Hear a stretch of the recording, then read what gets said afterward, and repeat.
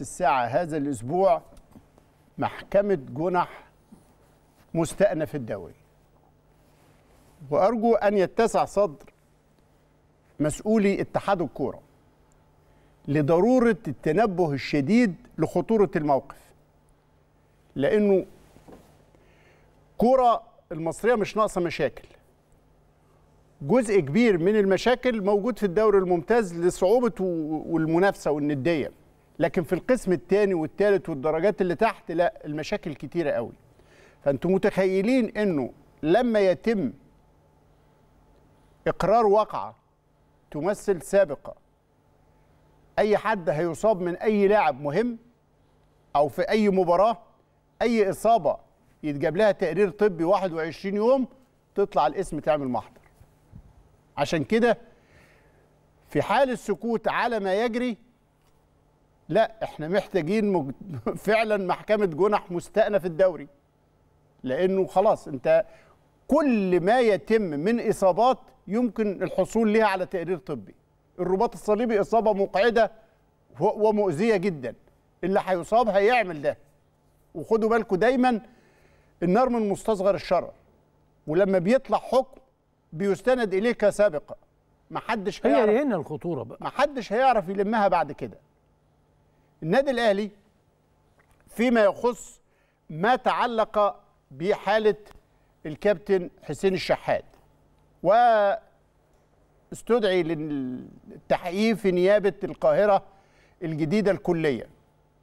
وكان معاه محاميه الأستاذ أشرف عبد العزيز. حسين رد على كل الأسئلة جلسه التحقيق استغرقت تقريبا ساعة ساعة وربع. رد على كل ما أثير حتى اللفظ اللي اتقال بلسانه على إنه ده استغفر الله في سب دين ولا حاجة تقرير الإدارة الفنية المساعدة بالداخلية للفحص الفني للنيابة أكدت إنه الأمر ما كانش كده والجمله ما كانتش ده. التفاصيل الكاملة اللي موجودة في ملف النيابة هي قيد التحقيق فما لناش إن إحنا نخوض فيها. لكن ما يخص الشق الرياضي وخطورة الاستناد اليه كسابقه إيه اللي ممكن يحصل؟ النادي الأهلي النهارده بعت جواب لاتحاد الكره هقوله لكم وأقول لكم الأهلي طالب إيه والأمور هتمشي إزاي وتفاصيل الموقف القانوني. النادي ارسل مذكرة لاتحاد الكره بيطلب فيها ردا عاجلا بخصوص ما جرى من مخالفة للوائح الاتحادين المصري والدولي لكرة القدم.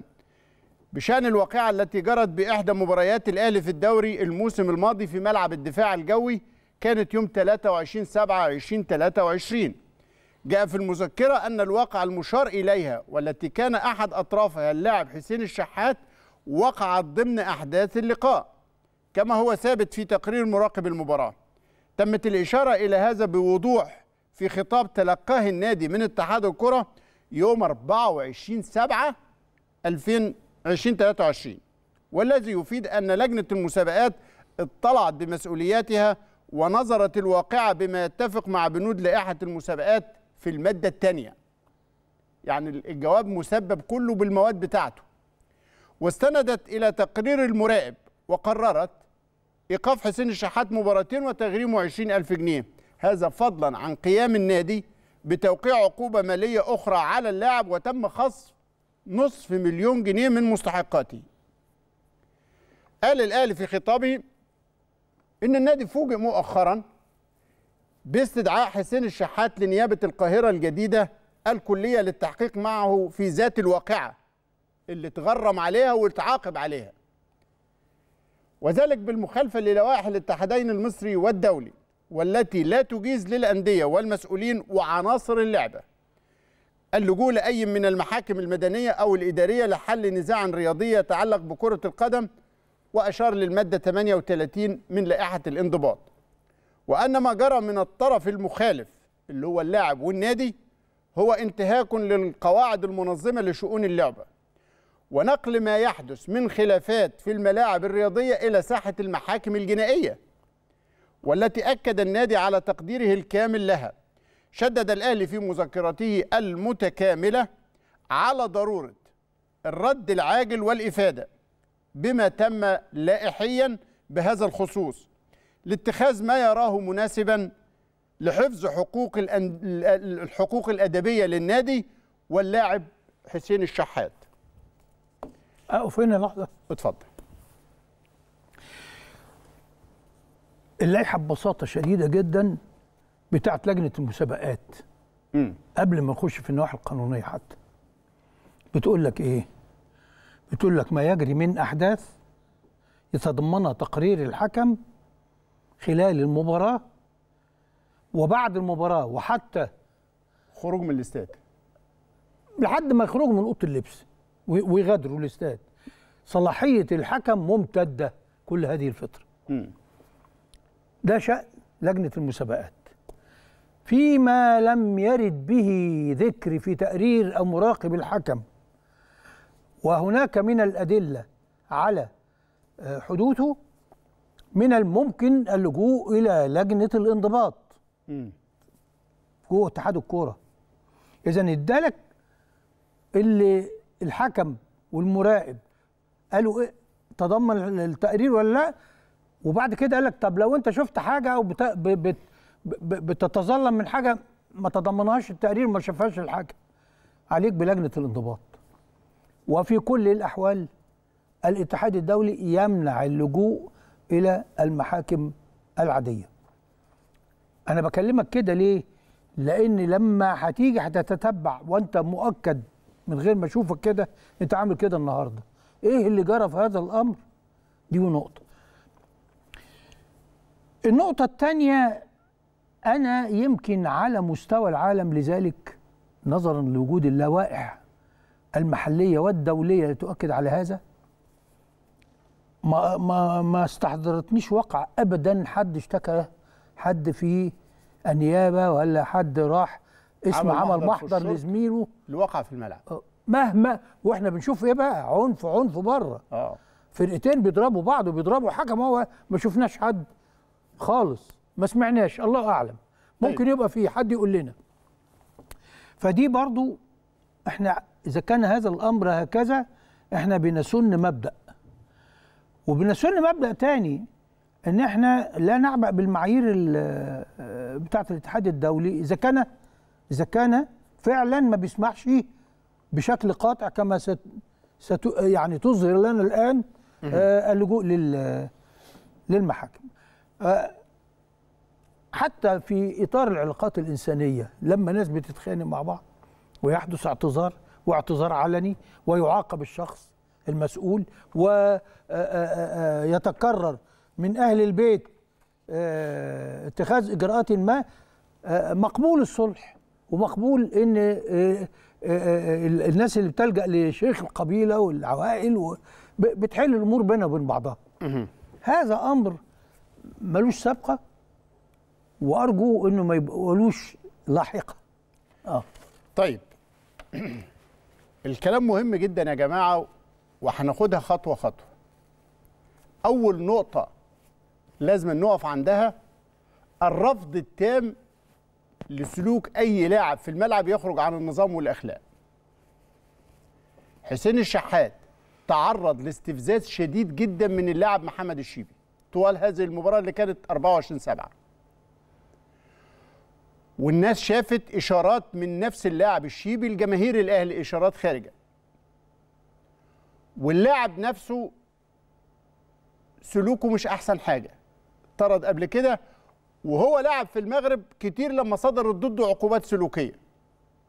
يعني من النوع أو هو نوع من اللعيبة اللي ممكن تقول عليها مستفزة أو سلوكاتها في الملعب ما هياش في درجة انضباطية عالية. بواقع أو بحكم ال- ال- العقوبات اللي صدرت ضده حتى في المغرب. حسين الشحات تعرض لهذا الاستفزاز. استجابته لهذا الاستفزاز غلط. تصرفه مع اللاعب غلط. النادي الأهلي كان أول من رفض سلوك اللاعب وعاقبه في وقتها. أنتوا فاكرين كان الكابتن سيد عبد الحفيظ مدير كورة خد خد ضده عقوبة أعلنت في حينها. واللعيبة في الملعب.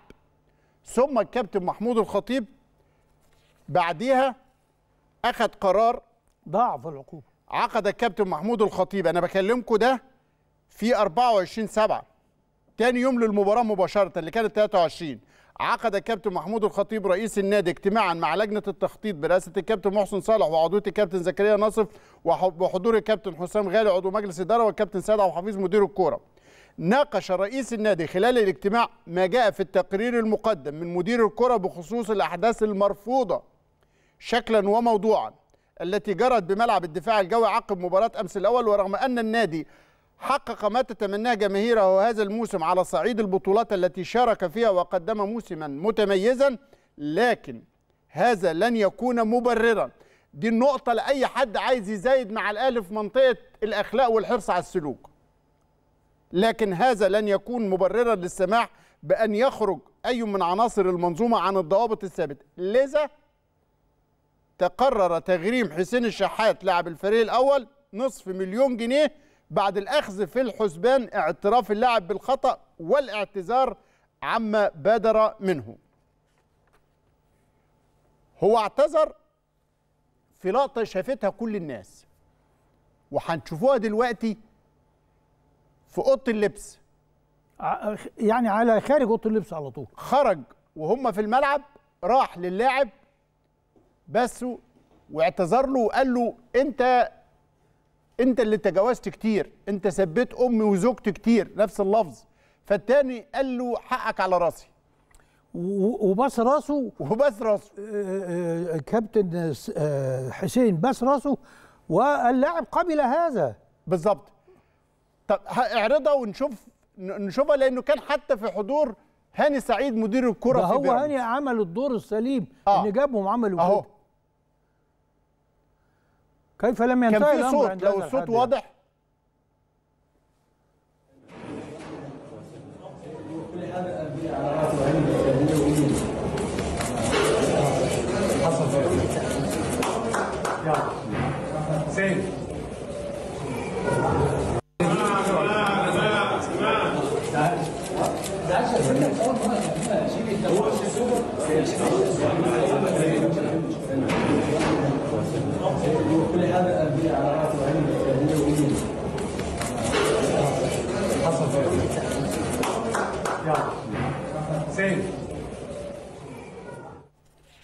حسين بيعتذر له. الطبيعي الطبيعي أستاذ إبراهيم في, حقك أمك وزوجتك على في راسي الأمور الطبيعية بينتهي الأمر عند هذا الحد يعني. مم. طيب. آه، آه، واتحاد الكورة بعد كده عمل إيه؟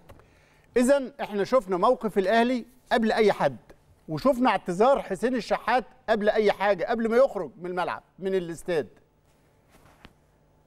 اتحاد الكره أعمل اللوائح بتاعته في الواقع وجاله تقرير مراقب المباراة فقررت لجنة المسابقات برئاسة الكابتن عامر حسين قررت رابطة الأندية المصرية المحترفة برئاسة أحمد دياب بالتنسيق مع إدارة المسابقات برئاسة عامر حسين بصوا عقاب من الجهة اللي منوط بها إدارة المسابقة. إيقاف حسين الشحات لاعب النادي الأهلي مباراتين وتغريمه 20 ألف جنيه للسلوك غير الرياضي في مباراة الأهلي وبيراميدز. أكد عامر حسين من جانبه آه، أن الرابطة طبقت اللائحة على حسين الشحات التي تؤكد إيقاف أي لاعب يصدر منه سلوك غير رياضي تجاه المنافس عقب المباراة بالإيقاف مباراتين وتغريمه ماليا 20 ألف جنيه. دي فيزيتا موجودة اتطبقت لأنه القرار اللي جه أو التقرير اللي جه من مراقب المباراة للجنة الم... لإدارة المسابقات إنه ارتكب سلوك غير رياضي. أوضح عامر حسين وقتها أن العقوبة تتضاعف على اللاعب في حال قيامه بسلوك غير رياضي أثناء المباراة. لكن بعد اللقاء فإن اللائحة تنص على إيقافه مباراتين وتغريمه ماليا 20 ألف جنيه لافتا إلى أن معاقبة اللاعب بالإيقاف من أربعة إلى ثمان مباريات تكون في حالة تعديها على حكم المباراة وليس على أي لاعب منافس. وشدد عامر حسين وقتها في تصريحاته على أن رابطة الأندية تطبق اللائحة المعمول بها في المباريات المعتمدة من الأندية منذ بداية الموسم لافتا إلى أن تقرير مراقب هذه المباراة أكد أن لاعب الأهلي قام بصفع لاعب بيراميدز بعد المباراة مشيرا إلى أن اعتذار حسين الشحات الذي قام به تجاه لاعب بيراميدز لا يعفيه من العقوبة التي صدرت وفقا لإيه؟ للائحة ده اللي حصل من هنا هنا بقى عايز برضو آه نقف عشان نوضح كذا حاجة أيوه ربما بيراميدز ما عجبوش هذا القرار وهذا حقه فلجأ إلى حقه في لجنة التظلمات. إلى أمام لجنة. كده الأمور ماشية قانونا صح قانونا صح وإن كان طبيعة الأمور كنت تتصور إنها انتهت بال... بالاعتذارات طيب. و...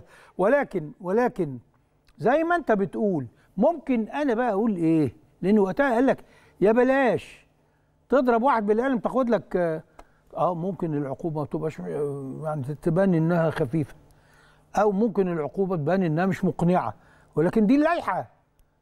إذا كنا عايزين نغيرها نغيرها. ولكن هل حصل مجاملة؟ هل حصل تجاوز؟ هل هناك طريقة أخرى أمام لجنة مسابقات كانت تاخد بيها العقوبة؟ هو ده. طبقت اللائحة. مش عاجبنا كلنا تعالوا نعدلها. وده اللي أشار إليه الكابتن عامر حسين وقتها إنه العقوبة وفقا للائحة اللي أقرتها الأندية وافقت عليها. يعني كله بالظبط. مبلغ بهذه اللائحة. زي ما المهندس عدي بيقول أنت عايز تقول اللاعب اللي يضرب واحد بالقلم أو يرتكب سلوك غير رياضي وتوصف السلوك غير رياضي إيه؟ عايز تديله مليون جنيه اديها له. عايز توقفه سنة اديها له. بس يبقى إيه؟ مفيش عقوبة من غير نص ومفيش نص من غير لائحه أما وإنه الأمر كان منظم لائحيا لجأ بيراميدز بالفعل إلى لجنة التظلمات برئاسة المستشار عادل الشرباجي وقتها اللي توفى لاحقا عليه رحمة الله. راحت لجنة التظلمات قررت رفض التظلم المقدم من نادي بيراميدز ولاعبه محمد الشيبي لتغليظ عقوبة حسين الشحات لاعب الأهلي بعد الأزمة. طب ليه؟ أيدت لجنة التظلمات لجنة المسابقات بإيقاف حسين الشحات مباراتين وتغريمه 20 ألف جنيه بعد الاطلاع على تقرير الحكم ومراقب المباراة وشريط المباراة الأصلي. يبقى لما راحت للجنة التظلمات لجنة التظلمات أولا أنت بت- بت- بت- بتتظلم للجنة التظلمات ضد قرار لجنة المسابقات. فاللي عملته لجنة التظلمات وكلهم سادة مستشارين للجنة المسابقات انت خدت القرار ده بناء على إيه؟ هو بيحاكم الحكم بيحاكم القرار نفسه. فلقى انه استند إلى شريط المباراة إلى تقرير الحكم إلى تقرير المراقب إلى لائحة العقوبات الخاصة بالمسابقة. فبناء على ما استقر لدى لجنة التظلمات ان الاجراءات اللي اخذتها لجنة المسابقات سليمة 100% لائحيا تم رفض التظلم بتاع نادي بيراميدز. اللي المفترض وفقا للنسق الرياضي والتدرج بتاع لجان اتحاد الكرة الأمر منتهي. هل انتهى؟ لا ده راح في سكة تانية خالص فيها كواليس كتيرة بعد الفاصل.